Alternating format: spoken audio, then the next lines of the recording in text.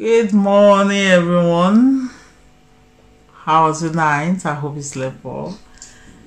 Today is Thursday, 29. Today is end of the month. And the topic is His righteousness for your sin nature. Praise the Lord. Before we start this beautiful morning, let's say prayer together. Father, we thank you. We honor you. We bless your holy name. Thank you, Father, for this month. Indeed, you're a, good Father. Thank you for, for your provision. Thank you for your protection for this month.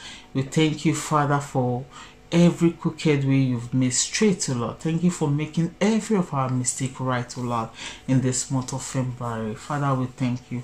We are not taking it for granted. We give you all the praise. Thank you for your word we're about to receive this morning, for in Jesus' name we pray. Amen. Praise the Lord. Hallelujah.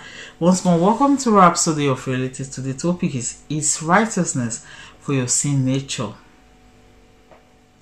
Romans uh, 8 Romans 6 verse 14 says, For sin shall not have dominion over you. Hallelujah. Our opening verse says, Sin shall not have dominion over you. This is because the man or woman who is born again is born sin free. In a previous verse, the Apostle Paul, talking about our righteousness, salvation, and the grace that we have received from God and how they came about, asks a thought provoking question How shall we that are dead to sin live any longer therein? Romans 6 2. Paul wasn't referring to himself and the other apostles alone, but to all of us.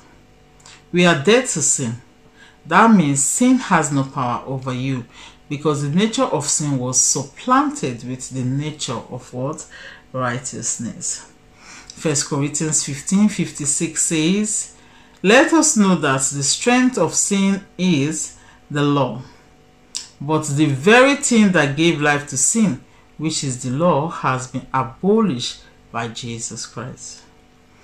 Ephesians 2 verse 14 to 15 says, For he is our peace, who had made both one and had broken down the middle wall of partition between us, having abolished in his flesh the enmity, even the law of commandment contained in ordinances the Lord Jesus has given us victory over sins, death, and the grave. We have been made, praise the Lord, not just righteous, but the righteousness of God in Christ Jesus. See yourself in this light. The unregenerate man, the person who isn't born again, or the other hand, is a sinner by nature and enslaved to sin. He can't but sin even when he doesn't want to because he has the nature of sin. But this isn't the case with you. You are righteous by nature. God made it so. Your righteousness is a gift from God. Romans 5 7 10. And that righteousness gives you the ability to do right and live right. There's nothing you could have done on your own through your own human perfection to become righteous. Praise the Lord.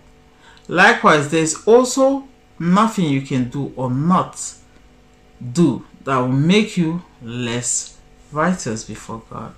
You are as righteous as Jesus is righteous because he substituted his righteousness for your sin nature. Oh, what a wonderful life we have in Christ Jesus. His righteousness for your sin nature. That's our topic. What is Pastor helping us to understand this beautiful money?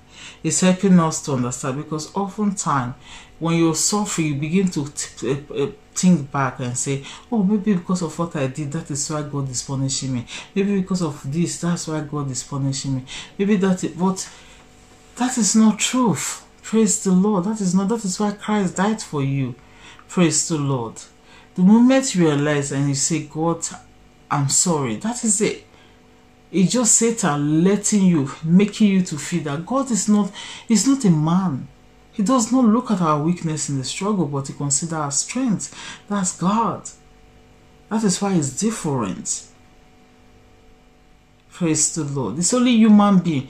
And they will tell you, I forgive you, but they will still be saying, I'm going to be very careful with this person because I don't want this thing to happen again. With God, it's not like that. It's with you like that. It's no matter what you commit, God loves you because He does not see you as a sinner.